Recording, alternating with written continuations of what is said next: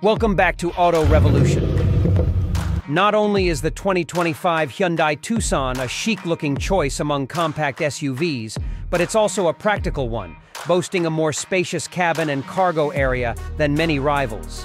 A 187 HP four-cylinder engine with front-wheel drive is standard, and all-wheel drive is optional. While acceleration is leisurely, the Tucson delivers a comfortable ride. Both a hybrid and plug-in hybrid are offered, which we review separately.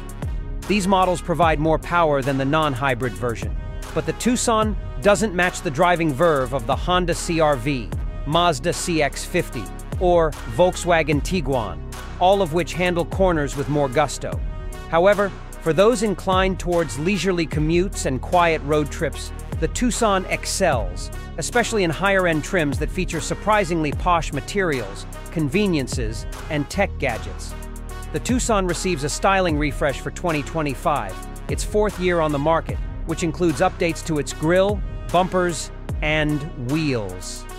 Inside, the old optional infotainment setup has been replaced with a new one that includes two displays, one for infotainment and the other for gauges, sharing a single rectangular housing on the dashboard.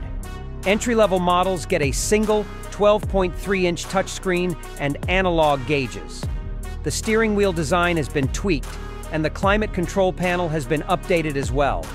The price of the 2025 Hyundai Tucson is expected to start around $29,000 and go up to $38,000 depending on the trim and options. We recommend the sporty-looking N-Line trim, which is new for the 2025 model year. It features stylish 19-inch wheels, unique front and rear styling treatments, dark chrome exterior accents, a panoramic sunroof, and N-Line badging. The cabin is draped in a combination of cloth and leather upholstery and includes a Bose stereo, the new dual-screen infotainment system, and an auto-dimming rearview mirror. It also comes with Highway Driving Assistant, Hyundai's adaptive cruise control system with an integrated lane centering feature. Stay tuned, Auto Revolution channel for more information.